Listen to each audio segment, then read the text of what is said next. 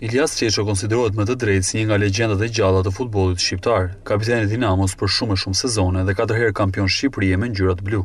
Gjithashtu për një periudhë, rekordmen për sa i përket lojtarit më të ri në moshë të aktivizuar në skuadrën kombëtare, ku aso kohe Zyber Konçi i besoi kur Çeço ishte vetëm shtatëmbëdhjetë vjeç.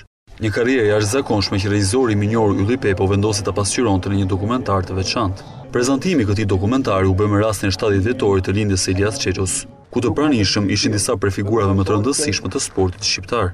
Presidenti i Federatës Shqiptare të Futbollit Armand Duka falënderoi në shenjë respekti ish-kapitenin e Dinamos. Më lejoni që në emër të Federatës t'i dhuroj një bluzë të ekipit kombëtar të sotmen, për të cilën Iljaz Çeço ka kontribuar shumë.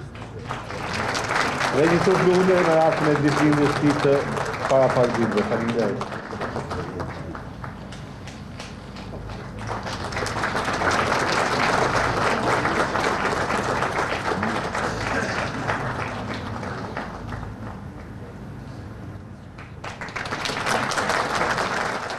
Iljaz Çeço pothuajse gjatë gjithë karrierës së tij mbajti veshur fanellën e Dinamos, duke qenë lider i kësaj skuadre dhe një ndër mbrojtësit më të mirë në historinë e kampionatit shqiptar.